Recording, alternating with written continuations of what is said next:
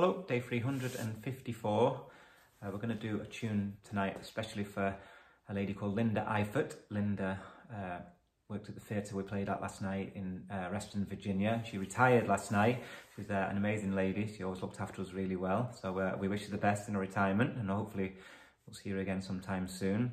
And uh, we're going to call this tune her, her nickname and she, she was in charge of all the lights at the theatre and everything was Linda Indigos. So that's what we're going to call this.